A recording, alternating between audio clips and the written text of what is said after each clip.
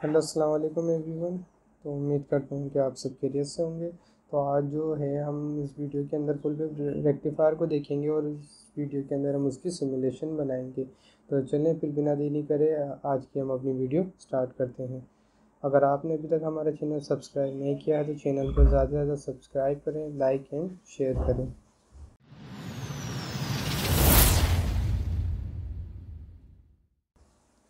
तो सबसे पहले हम अपने कंपोनेंट सेलेक्ट कर लेते हैं। जिन कंपोनेंट की हमें फुल वेव रेक्टिफायर के अंदर ज़रूरत पड़ेगी तो फुल वेव रेक्टिफायर के अंदर हमें जो ज़रूरत पड़ेगी वो पावर सोर्स की पड़ेगी। एक ट्रांसफार्मर हमें चाहिए होगा और हमें जो है एक डायोड चाहिए होगा।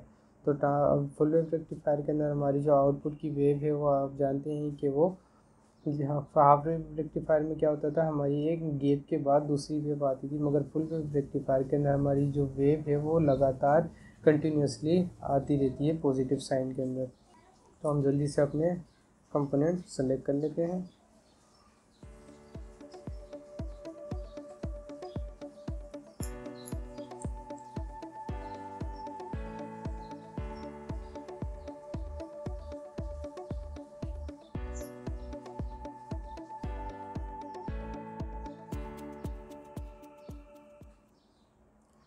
कंपोनेंट तो हमने सेलेक्ट कर लिए हैं। अब इसका हम जल्दी से कनेक्शन बिठा लेते हैं। ये जो है, हमने यहाँ पे डायोड का जो है, हमने वो ब्रिज रेक्टिफायर यूज़ किया है। ये और जो हमारा जो ब्रिज रेक्टिफायर है, वो आप जानते हैं कि हमें A C two A C two D C के अंदर भी कन्वर्ट करने के अंदर बहुत हेल्प करता है। तो इसी तरीके से हम अपना जो ए सी करंट है, वो हम डी सी में कन्वर्ट कर लेते हैं। तो ये ब्रिज रेक्टिफायर की दो साइन निकलेगी, एक हमारी जो होगी वो पॉजिटिव साइड होगी और दूसरी जो है हमारी वो नेगेटिव साइड होगी डाउन वाली।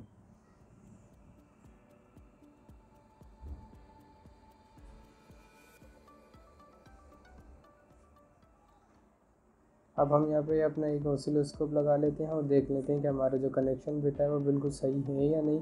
तो एक हम वेव जो है, एक इनपुट पे ले लेंगे। इनपुट की वेव देखेंगे कि हमारे इनपुट सही आ रहा है कि नहीं और हमारी जो आउटपुट की वेव देख लेते हैं। तो हमें ताकि इजीली पता चल सके जो हमारा जो डिफरेंस आया है इनपुट और आउटपुट में, वो पता चल सके। और जो हमारा ऑसिलोस्कोप है, उसकी जो नेगेटिव टर्मिनल है, हम उनको आपस में कॉमन कर देंगे ग्राउंड के साथ।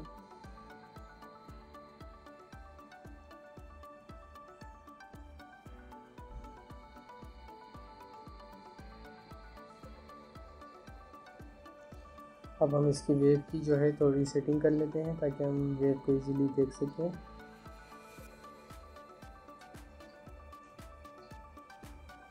तो इसमें वेव की सेटिंग करने के तरीका तो बहुत आसान होता है कि जो है, हमारी जो वेव अगर बड़ी आ रही है, उसको अगर हम छोटा करना चाहें तो हम उसकी वोल्टेज की रेंज को बढ़ा देंगे और जो हमारे जो लेंथ अगर हम कम या ज़्यादा करना चाहें तो वो जो है हमारी टाइम पर डिवीज़न के ज़रिए से हमारी वे सही होती है। तो ये बस दो चीज़ें होती है जो हमें सेट करनी होती है। इतना कोई कॉम्प्लिकेटेड नहीं होता। है लोग इसको बहुत कॉम्प्लिकेटेड बना लेते हैं। काफ़ी बच्चों को देखा है कि वो इस चीज़ की सेटिंग नहीं कर पाते हैं। तो आप देख सकते हैं कि हमारे जो है कनेक्शन बिल्कुल सही बना है और हमारी जो वेव है इनपुट की रेड वाली बिल्कुल सही आ रही है और हमारी जो ब्लू वाली जो है, वो वो भी हमारी बिल्कुल कंटिन्यूसली वे पॉजिटिव साइन के अंदर आ रही है। तो हमारा जो कनेक्शन है, बिल्कुल सही बैठा है।